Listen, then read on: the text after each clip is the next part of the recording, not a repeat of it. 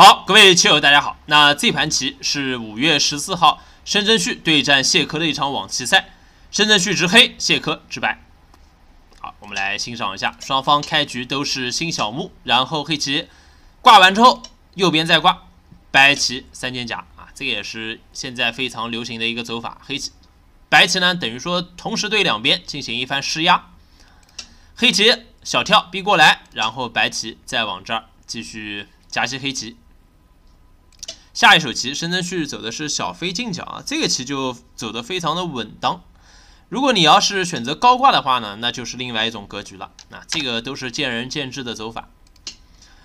黑棋小飞进角，白棋往这儿一点刺啊，这个点刺也是希望施一下应手啊。如果黑棋粘的话，这个棋黑棋就太委屈了，是吧？被白棋先手便宜，外面的这个头以后也要被封住，黑棋肯定要在这儿反击啊。那这个棋白棋就可以放在这儿不走了。以后有什么变化呢？保留这种冲完之后拐住黑棋粘上，白棋再连回家的这个变化啊。当然现在不用走啊，不着急。白棋实战大飞手脚，黑棋再从左边大飞出头啊。这个双方的节奏都走得非常的明快。下一手棋，白棋跳刺啊，这个棋呢肯定是希望把黑棋的这个棋形走重一点，最好是黑棋跟着贴回来，然后白棋再把下方给挑出头。啊，这个棋黑棋的形状很难看，效率很低。他要再往外去飞的话，白棋冲完之后一双啊，还是要让黑棋补回来，然后白棋再往外一跳。这样的话，白棋角上其实也走到了，这个旁边呢也是连跳了两下，以后对于中央的这个发展也是有些好处，并且黑棋这儿还是有个断点。所以说黑棋显然不肯啊，实战申真旭是反刺了一个，这个刺的时机呢也是恰到好处。白棋如果说你是简单的粘上的话，那黑棋以后随时保留这个冲段嘛，对吧？或者现在动手也行。这个白棋刚才的这手跳刺就落空了。实战呢，白棋是选择粘在外边啊，那么黑棋就有一个二路透点的手筋，这个也是配合刚才这手尖刺一起使用的。白棋接下来大致有两种应对方法啊，一个是挤住。挤完之后，黑棋二路搬粘便宜完，白棋把角上一补啊，黑棋粘，白棋粘上，黑棋再往这儿一连回。这样的话，虽然说白棋角上损失一点目数啊，但是抢到一个先手，在下方继续小尖便宜一下，这个白棋其实还是不错的。实战呢，白棋选择挡下来啊，那这个棋黑棋先手一扳啊，以后还保留这个角上的爬，但是现在应该是爬不到这一下啊，白棋可能就直接把你外面封锁了。所以说黑棋是飞出头，但是呢，这个棋形啊，黑棋总感觉有些别扭啊，就不是很好看。白棋实在往这儿一尖之后啊，这个黑棋也是为了防止白棋马上的这个间断，还得再挤一手，这个就感觉不是很理想啊。这个白棋跟着贴，黑棋也没有继续长，这个可能不太肯。被白棋往这儿一飞啊，你看这个黑棋的子效很低，搬了一个，白棋往这儿一端。黑棋在吃，白棋跑出去，那么这个地方呢，黑棋非常想随手往这儿打两下啊，舒服一下。但是啊，这个棋你打完之后，我们会发现黑棋上下有两个断点，你已经不能兼顾了啊。所以说，这个下的每手棋一定不能光为了这个眼前比较爽啊，一定要考虑它的这个价值。实战黑棋是单长了一步啊，这个棋也是一个绝对的先手嘛。接下来有一个贞子。所以说白棋是补了一个啊，白棋补棋是打在这儿，它的理想图呢是黑棋你继续跑啊，白棋在长，把你这两个子走中，然后你回过头去补断，对吧？虽然白棋现在争子可能争不掉黑棋，好，我们来算一下啊，啊这个地方争不掉，但是白棋往前一长，这个棋啊，黑棋两个子一中的话，你再跑就越跑负担越重，并且你左下角的这块棋还没活，这个黑棋肯定不行。所以说走到这儿呢，也只有单独补断，白棋把这一提啊，那这一系列的战斗下来，肯定是白棋比较满意啊，因为拔一朵花，对吧？这个价值就很大，并且这个黑棋还是要出头。实在呢，这个黑棋显然觉得现在局势不太好，走的比较激进啊，选择大跳下去。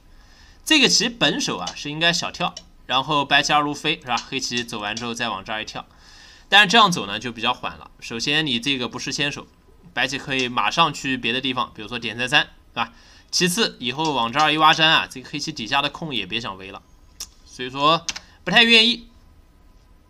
申真谞还是选择大跳下去啊，那白棋顺势把脚上的这个死活问题给它解决掉，挡一步。黑棋接下来还得再补一手。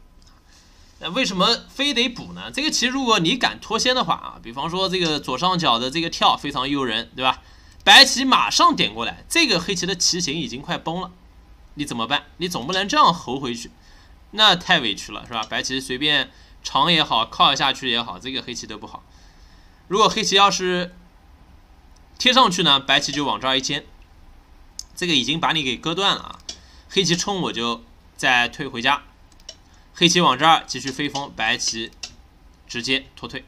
这个不仅是目数便宜了，而且白棋以后随时还可以搬出威胁你大龙，对吧？这个黑棋显然也不行，所以说还是得补一手。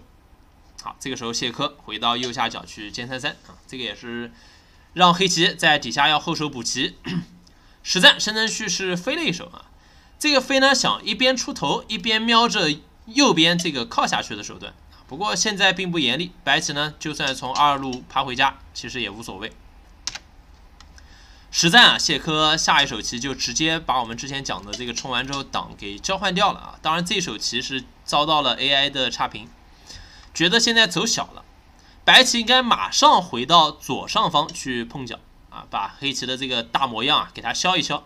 底下这块棋确实也没什么好走的，白棋左右两边都是活棋嘛。实战谢科是冲完之后一拐，黑棋粘，白棋连回啊，这个时候再让黑棋再爬到这个角里面去。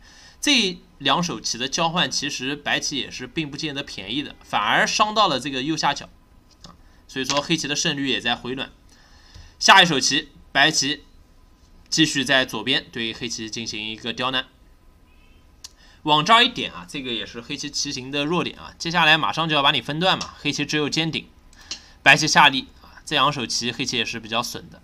接下来黑棋在二路去盯了一手，这一方面是为了防止白棋以后可能存在的这种挤完之后二路拖，是吧？甚至于白棋底下先手做眼，所以说干脆盯一手。而且这手盯呢，还要瞄着下方这个二路拖，啊，这个是非常舒服的一手棋。白棋下一步搬，黑棋挡住，啊，白棋再靠，这个呢，黑棋已经切不断白棋了。如果你从内搬的话，那白棋一断是吧？上方你要长，那从这儿吃出来，黑棋肯定是崩溃的。那实战黑棋走的是二路的拖，这个棋 AI 也是觉得申真谞走小了，还是应该把外面的这个控制权给他牢牢掌控住。啊，你搬完之后再一压，是吧？白棋如果长这个头，黑棋很有可能就从这儿直接拆。这个棋白棋也是不活。如果白棋要先拆的话呢，黑棋就搬二字头，对吧？他要跳方，黑棋顺势把这个角给补起来。这样走的话，黑棋首先角围的特别的舒服，其次呢，就算外面有断点，白棋往这儿切断，黑棋虎一个补断也不是很怕，对吧？毕竟白棋这两个子也是比较单薄的，就跟白棋对跑啊。黑棋也是没有什么觉得亏的地方。那么实战黑棋是想可能在这儿先手便宜一下啊，白棋果断不要这三颗子了。谢科找准机会把外侧一粘，这个瞬间让白棋变得非常的厚啊。吃三颗子，白棋一断，黑棋一路虎。那么走完之后呢，我们会发现白棋左下角其实已经活了，根本就不用补棋。所以说下一步谢科回到左上，往这儿一挂，坚定完一跳。那你看这几手交换，黑棋的收获仅仅是把这个角上围了一点木，对吧？三个子一吃，十木棋左右。但是你之前左边的这个大模样已经全部被白棋打消了，所以说黑棋这几手棋是稍微有些问题的。接下来白棋也是在上方挂角啊，走成了一个跟刚才底下差不多的形状，只不过呢，这个时候黑棋没有选择飞，而是跳起来。白棋小飞进角啊，这个时候黑棋也是暂时没有在右上角继续定型了，因为白棋左边的两颗子啊已经是非常的危险，黑棋直接在上方正头，白棋拆二，黑棋再往这儿一跳啊，这个棋上下两块白棋已经被黑棋给缠绕起来了，那对比一下，明显是下方的白棋更加危险啊，因为如果说你现在脱先的话，底下被黑棋先手一长啊，你断黑棋打完之后一双。再拍黑棋粘，你再粘，这个棋白棋是非常非常危险的。首先呢，你这个底下这条龙啊眼不够，其次，这个上方黑棋有各种各样的借用，可以把这个口子先手封住啊。然后白棋这个大龙也是九死一生，所以说这样下太过于冒险了。白棋还是先把中央补了一手大吃，黑棋把这个口子封住。我们来看这个谢科怎么做活的，先往这个二路一立，对吧？立完之后马上瞄着这个跳进角，这个里面有一只眼，所以说黑棋得挡住，顺便把木给守住。白棋往这儿一飞刺，然后二路一拖啊，这个也是常规的做活手段。黑棋绊住之后，白棋并没有选择单退完之后再夹的简单做活方法，而是非常强硬的在上方去挖了一手。这个呢是一套组合拳，具体啊要看黑棋接下来怎么去处理了。如果你想和平共处，那就从这儿一打，白棋吃完之后一爬，对吧？从这个下方直接连回，围了一些空。黑棋呢中央拔一朵花也是比较厚。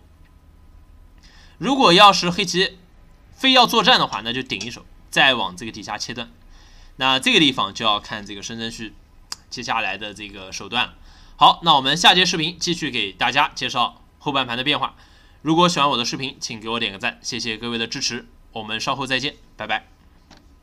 好，各位棋友，大家好。那我们继续回到申真谞对战谢科在五月十四号的网棋赛。现在啊，谢科往上非常强力的一挖，要找申真谞作战。黑棋呢也是非常强硬的顶住一段啊，接下来白棋有两种走法，一种像实战一样啊，从二路去打；一种呢就是非常直截了当的从这儿断打完之后再贴着打下去。黑棋提，白棋外面冲完之后把断点补上，黑棋顺势在二路爬完之后，在一路做活之前呢，可以先点刺一下，这个是黑棋的先手权利。白棋贴住，黑棋再活下去啊。黑棋先活棋的情况下，白棋左边也可以忙活啊。这个尖是个先手，黑棋二路小尖补断，白棋搬完之后一贴啊，这个局部已经是活棋了。如果说黑棋再打进去的话呢，白棋滚包一圈，关键是这个一路的立是一个先手啊。这样的话，双方各自活也是一盘很漫长的棋。我们来看实战啊，实战白棋是从二路打。然后从上面盖住，黑棋往二路一拐，那么这个棋啊，白棋是只能像实战一样往回长一手的，不能选择虎下去啊。如果你虎下去的话，就太过于过分了。黑棋往上断打完之后再一吃啊，因为白棋脚上不活嘛，所以说你这个时候必须得跟黑棋对杀破眼。但是你外边这个断啊，已经挡不住了啊，你反打吃，黑棋长一个也行。或者说提完你滚包一圈，再从这儿打完再一打也行。这个棋白棋直接崩溃，所以说白棋挡不住，只有往回长。黑棋跟着一打，白棋反打完之后，黑棋再长啊。这个棋不要提，提的话被拍一下不舒服啊。白棋一冲，黑棋单独提，白棋再一长啊，就相当于形成了一个转换。但是这个转换明显上是白棋很亏啊。对吧？本身你这个上方的空，按照我们刚才这个走法，就是最缓和的走法，白棋是可以脚上也活棋，右边的角也防住的。但是现在呢，白棋仅仅是在中央取得了一个出头的小优势，但是左右两边同时受损。最为严重的是，现在黑棋抢到一个先手啊，往右上角尖三三，白棋这两个小飞已经死掉了。再往外掉一手，黑棋一冲。当白棋冲的时候呢，这个时候黑棋他选择的是二路的虎啊，这个棋降了一些胜率。AI 觉得黑棋还是应该往前冲，然后再虎，这个是一个次序。虽然说啊，这个角上被白棋贴下去之后，黑棋呢暂时立不到这一下，因为被白棋再一拐，这个局部角上活的挺委屈的。你可能还得回去再补一个，被白棋打完，角上被压缩了一些。但是呢，无关痛痒。黑棋只要能在局部抢到一个先手啊，先回到左下，把这个虎先手虎给它走掉，然后再往中央去渗透啊。关键这个黑棋只要出头呢，白棋左边的这六颗子啊，它就必须要跟着出头啊，它不能围中央。围中央的话，黑棋往这儿一搬，白棋这个就危险了。所以说，它出头的时候，黑棋继续往旁边拐。这样的话，你看白棋啊，看上去右边的这个潜力比较大，但是它上方有一个口子漏着风，中央漏着风，对吧？旁边这个黑棋大不了以后还可以往这儿飞压，所以说这个白棋是非常被动了。实战呢，申真谞是往下一虎，被白棋往这儿先手一挡啊，这个棋白棋就比刚才缓和了不少。那么实战，白棋也是脱先回到下方搬完之后再断啊，在底下寻找作战。黑棋靠下去，白棋底下一打完之后再一冲啊，那黑棋这个形状因为被冲到一路去度过啊，这个眼全是假眼，看上去气比较紧。当然了，白棋也好不到哪边去。这个时候 AI 的一选是白棋直接从角上搬粘，这样下的话呢，气是最长的一种走法。黑棋二路小尖，边破眼边收气啊！这个白棋冲完之后，在底下铺，这儿还可以再铺一下。如果黑棋提的话呢，那我就简单的收气。如果你铺的时候，他把这个劫放置在这儿不管，他选择收气的话，白棋甚至于啊，都可以不用跟黑棋打这个劫，我直接选择吃完之后一路立，黑棋马上这儿就有一个打吃劫不归啊！如果他粘上的话，白棋吃完再一收气。刚好比黑棋快一气。那么黑棋呢？如果走成这样，最多也就是在左边先虎一下，是吧？这个是先手，在这个尾巴肯定是不能要了，四个子肯定阵亡了。然后在二路拖一下，这个什么意思呢？如果说白棋搬一个，那么黑棋挤一个啊，你打进来我就跟你做劫，是吧？在这儿可以撑出一个劫。如果说白棋不让打劫，他往这儿团一手，那么黑棋往回一跳啊。白棋吃底下，那么黑棋继续往右边拆边，这样的话，这个棋还是非常的漫长啊。双方也是要拼拼看这个中后盘，因为这个虽然说白棋吃的角很大啊，但是黑棋右边等于说把白棋的这个潜力也全部破光了，自己还成了一些木薯。这个是白棋比较正常的一个走法啊。但实战谢科往这儿去虎了一手，跟黑棋下力交换。再往这儿二路搬粘，这个情况就不一样了。你看黑棋往这儿一挤，在补断的同时，还还把这个白棋的气啊给它紧了一口。这个白棋少了一口气，就比刚才差远了。实战铺完之后，白棋选择粘，这个棋其实白棋走什么都一样了。如果你要选择贴下去的话呢，黑棋往这儿一搬，是吧？外面你尝试一个先手，侯下去想收气，黑棋这儿有一个扑，扑完之后一打，往里面再一破眼，白棋显然里面是不入气的。那你外面这一些黑棋呢，你也是抓不住啊。这样的话，白棋就进死了。实战白棋选择单粘，那么黑棋直接跳进去啊。白棋扑完之后，你看这个时候白棋立下就气不够了，黑棋往这儿一断，刚好你不入气。所以说谢科刚才的那手虎啊，可以说是本局到最后的一个问题手。那我们来看实战啊，实战白棋走到这儿也是只有选择主动扑劫。那么黑棋这个本身劫找的是特别舒服啊，这个断打是吧？白棋只有长，黑棋在收气，白棋提。你看黑棋这个本身劫找的不停，走完之后黑棋再提劫，下一手棋白棋回到上方去挖了一个，这个棋黑棋也不让，打吃白棋提劫，黑棋再往这儿打白棋。还是不肯提啊，这个地方被以后拍一下也是非常的不舒服。再往前长，黑棋再提啊，那么走到这儿呢，这个白棋也就认输了。因为如果继续走下去，你这个劫根本就打不过啊。比如说你还在左上角长的话，提提过来，黑棋你看还能再打，是吧？这个棋白棋肯定是不行的。所以说这盘棋前半段呢，双方还算是有来有回，甚至谢科还占据了一些小小的优势。但是到后来啊，上方的这一系列作战，可以说白棋还是吃了不小的一个亏，对吧？被黑棋把上方的这个空打穿之后，中央的这个潜力白棋也没办法围。那么到右下角，其实白棋只要单独二路搬粘之后啊，这个棋白棋还是有翻盘的机会的，对吧？可以把黑棋的这个角给吃掉。但是后来也是出现了一个这个虎的问题手，导致自己的气。被白白紧了一口，结果想要打劫，但是呢，黑棋刚好有一个这个活针的劫材啊，这个也是可以提供非常多的这个打劫的机会啊，打劫的劫材，这个白棋也是打不过。好，那这盘棋就给大家介绍到这里。如果喜欢我的视频，请给我点个赞，谢谢各位的支持，我们下期视频再见，拜拜。